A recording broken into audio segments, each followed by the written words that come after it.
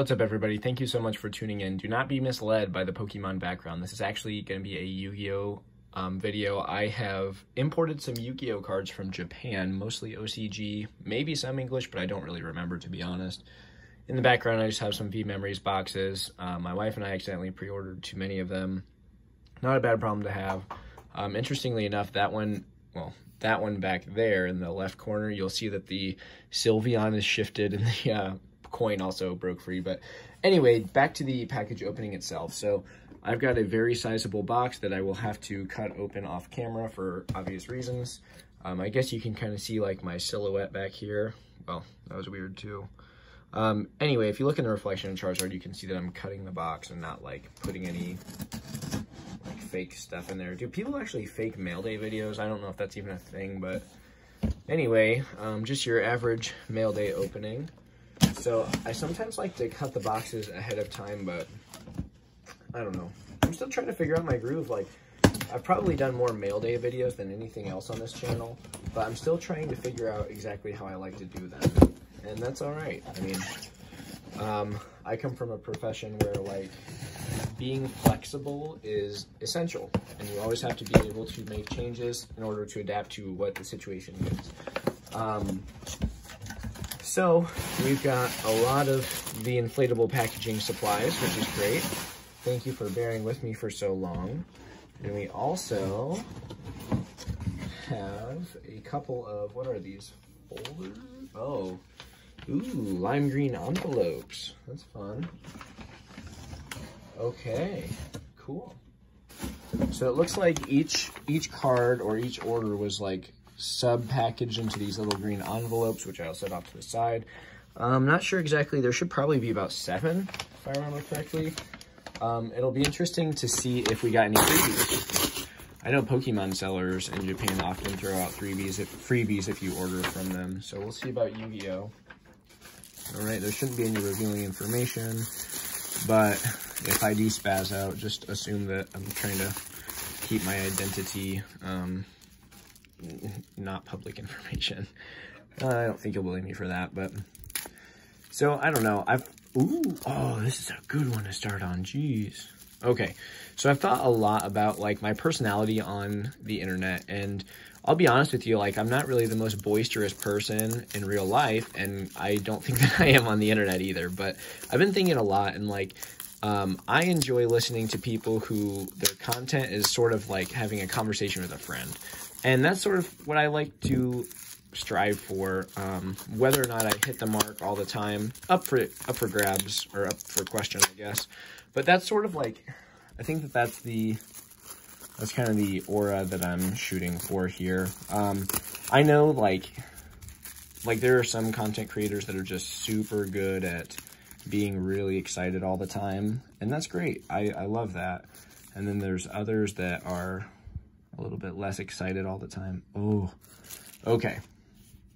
So these are some cards that I ordered, I believe, together. So, or maybe, honestly, I don't know how the heck I ended up with this many blue eyes. I thought I only ordered two total, but um, anyway, so we have like some old starter deck Blue Eyes White Dragons. This one's literally folded in half, which kind of sucks, but maybe I'll just throw this in my LOB binder. Um, I mean, it never hurts to look at some blue eyes. We've got another one that's in better condition. Not perfect. I mean, these are like played cards, but yeah, it looks like we've got some serious wear there. But I, anyway, I picked these blue eyes up for like $4 a piece, which for a vintage blue eyes is not bad at all. You'll notice that this is like, okay, so this is like the original release style. I'm still learning about OCG, but I think it's fascinating. So this card layout is much different from like, um, I don't know if I have, oh, I do have some like Korean cards laying around, but like you'll notice the layout's different, right? Like we have these big text boxes and then the actual description is very small as opposed to this. So the original initial release cards um, in Japan, they looked more like this. And so you'll notice that this is basically, um, there's no set code down here either, which means that it was from what essentially became the English structure decks. Um, they obviously used this artwork rather than the one that we used for our starter decks and vice versa. I believe that our starter deck artwork came out in the OCG's actual LOB variation set. But anyway, we've looked at this one for quite a while. This is definitely the best condition copy out of the three. So it will actually claim the middle spot, the alpha blue eyes. And I don't know if I ordered this Dark Magician or if they just sent it in for free, but Again, that's pretty sweet either way. Um, I think I should have a Dark Magician coming, but this one may or may not be extra. But anyway, that was a really, that was a heater to start things off with. Three Blue Eyes and a Dark Magician. Um, and so that's sort of like, I went for two things throughout this video, and so you'll probably be able to pick up on what I did pretty quick. Oh, I'm a little bit really pissed about this. This is how it came in the freaking, ah, oh, God. Okay, so this is an ultimate rare Gemini elf. And I paid like 30 bucks for it before shipping and fees. You'll notice it's the uncensored artwork. Um, and it's not just their ears that are a different size. But this was literally just in a stinking penny sleeve. And so it is pretty beat up top. Coincidence? I don't know.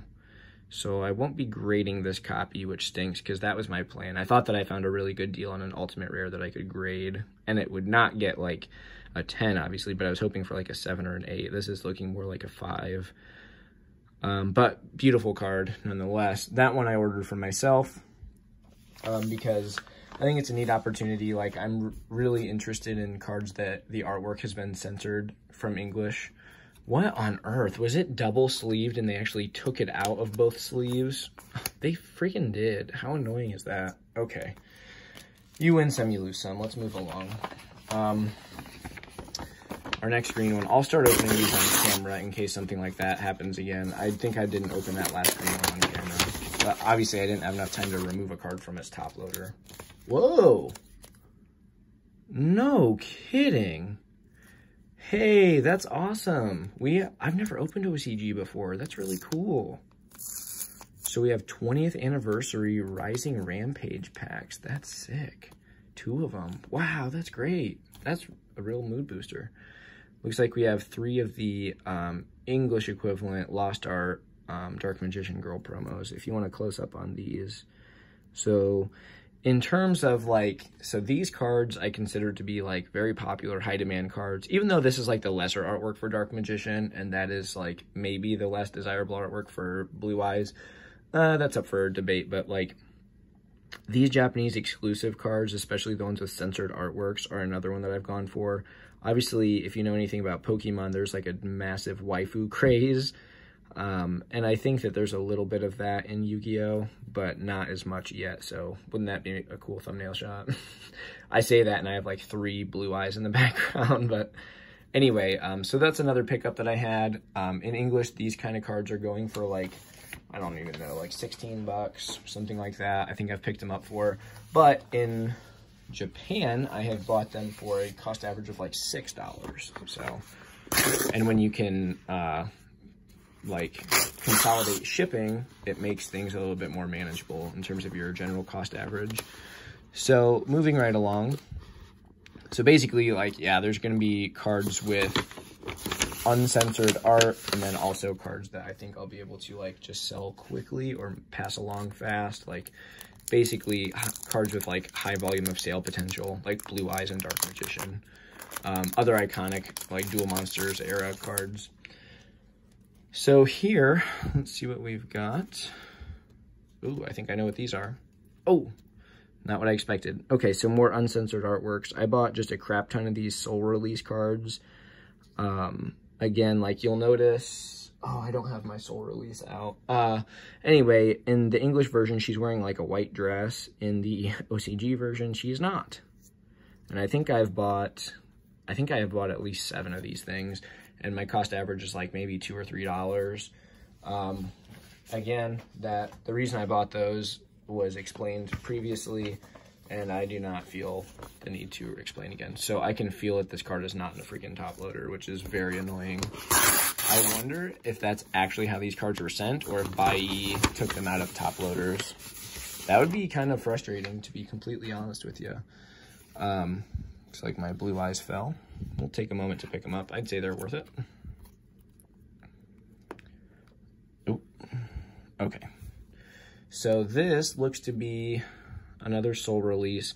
I do know that there is two variations of this card. So from the same set, um, I believe that this is Metal Raiders. But anyway, this is the OCG version of Metal Raiders as you're staring at the back of this. Need to sharpen my cutting utensil. Anyway, in, um, goodness gracious, I'll be amazed if I didn't just bend that card. That was not smooth. Um, what am I saying here? So in the OCG version of, is that a fake card? This better not be a fake card. Why does this look so much different than these ones? Okay. This is just all over. This might be a fake card. Um, it's definitely glossier, and this one is not glossy. Check that out, my OCG friends. What do you think? you know, the same size. This one's obviously a much deeper green though. So that's interesting. Oh well, I'll check that out later, but I have no idea what I was talking about before I opened that package, so my apologies. I think it was something along the lines of like, I'll be upset if Buyee is removing my cards from top loaders in order to package them in these green envelopes. Um, I'm gonna just take the seal off on this because I don't really know where the card is in the package. But yeah, I've been buying a lot of Soul Release. I think it's just a cool censored art. But oh yeah, within the um, OCG version of Metal Raiders, there's both a common and a rare version of Soul Release. So, oh, a fourth Blue Eyes. Wow, did I? I may have gotten that bent in half one as an extra. I have no freaking idea how I ended up with four Blue Eyes. I don't think I bought four Blue Eyes. I legit don't think I bought four blue eyes. We'll just take this one out of the sleeve because, like, this may have been, like, the original sleeve this thing was kept in.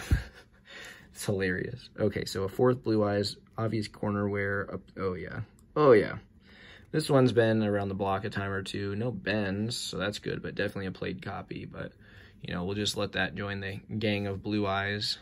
So we've got four of them. Again, I believe I paid very little for these cards. Looking at the, I may have overpaid for this one actually. I think that there's one that I bought as a single by itself that was a little bit more than I thought. Um, I thought I was going to be getting, a more mint version of that card. So, mm, not sure exactly what happened here, but oh well. It's cool. I've got four Blue Eyes White Dragons, and I think that my cost average on them is very low. Anyway, going into this last package, I think that any fans of the classic Duel Monsters will appreciate this last one. I do know what it is. The other ones I've kind of gone into blind. Um, yeah, so anyway, this this whole lot of cards, I should say, I should probably give you some actual information on it. I've just been kind of rambling, so if you're still watching, you're a trooper, man. Like, thank you very much for checking out the video. Now I will shamelessly plug, you should like and subscribe this video because it would make me feel good about myself.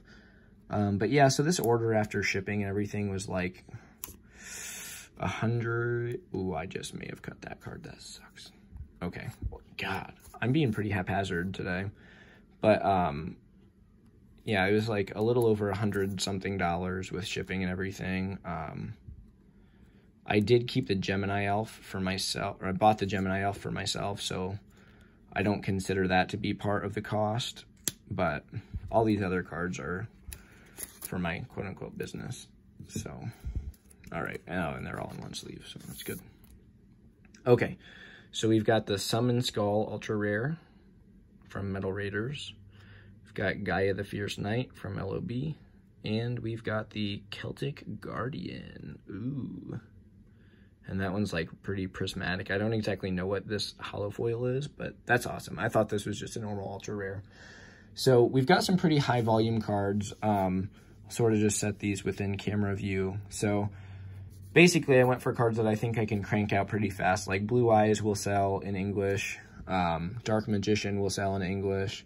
And then I think that these um, censored artworks or uncensored artworks will also do pretty well. So that's pretty much what I'm going for right now in Yu-Gi-Oh! I think that some of this stuff I got a good deal on. Other things I may have overpaid for now that I see its condition. But I was really excited to get some Yu-Gi-Oh! stuff, and I'm glad that it finally showed up. So thank you all so much for watching. Um, I appreciate you, and feel free to join us next time.